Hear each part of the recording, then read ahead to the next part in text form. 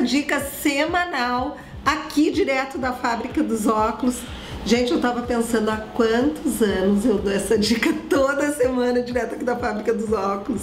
Já faz muito tempo, não é? É um parceiro muito querido nosso do programa e eu adoro falar da fábrica dos óculos porque é aqui que eu faço os meus óculos, é aqui que eu compro os meus óculos solares e quero mostrar para vocês esse que eu vim buscar hoje. Eu tenho certeza assim, ó, que vocês vão morrer.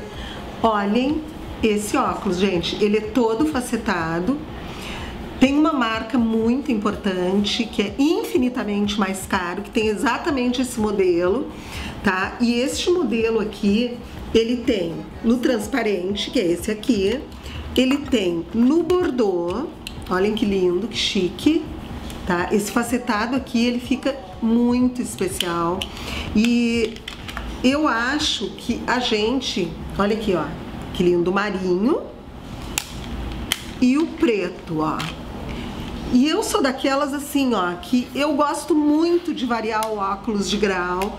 Uh, a gente sabe que ele hoje é um acessório de moda, então eu prefiro, é uma opção minha, não pagar muito caro por uma armação de óculos de grau, porque eu gosto de ter um na bolsa, um em casa, um na frente da televisão.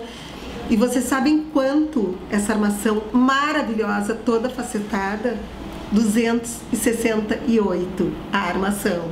268, é isso aí, gente. Isso pode ser até parcelado. Então, uh, ah, para quem se apaixonou, não tem muitas unidades, tem que correr. Pode até encomendar por telefone para as gurias guardarem. Então, tem o preto, o marinho, o bordô e o transparente. Eu tô levando esse transparente aqui. Tô apaixonada por esse modelo. 265 reais. Eu vou repetir mais uma vez. E a fábrica dos óculos, dependendo do grau da lente, entrega em até dois dias, porque possui laboratório próprio. E aqui a gente encontra assim, ó, tudo que está acontecendo na moda, com preços muito bons, tanto na linha solar quanto na linha de receituário. E encontra óculos infantis, masculinos e femininos. A fábrica dos óculos fica aqui na Berlim, de encontro com a Nova York, a uma quadra da Benjamin Constant. E aqui a gente tem a certeza que está comprando tudo com a supervisão do professor Enio, que é referência quando falamos em ótica no Rio Grande do Sul.